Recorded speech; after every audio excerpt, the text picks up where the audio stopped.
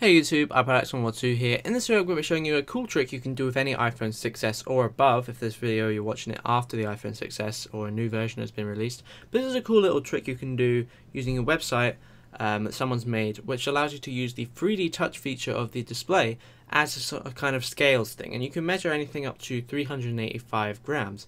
Uh, so it's not perfect, it is obviously new and it's not meant to be used as a scale, but it's a pretty cool concept and something I think it's a little bit fun to play around with. So for example, here you just have to go to this website, which I will link in the description below. It's a GitHub page. Um, so basically it will show a different value depending on how much pressure you put on the screen. So as you can see, it goes all the way up to 8, 385 and as you let go, the number goes down, as you can see like that.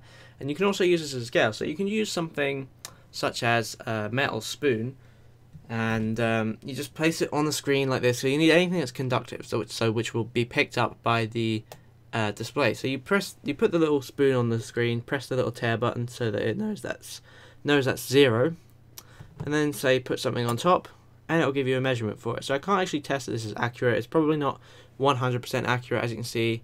Um, sometimes it'll go a bit weird, and you might have to do it again. But it could just be because of the way I'm holding it. But it's a pretty cool concept. As obviously uh, the screen on the iPhone 6s is not meant to be used this way. It's meant to be used to do actions on your phone, um, but this is a pretty cool way you, you, where you can use it as well.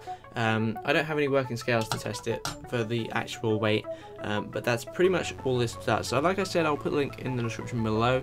Uh, something something I think especially the techies or the science geeks will enjoy playing around with. So I think it's pretty cool. Um, so yeah, that's pretty much it.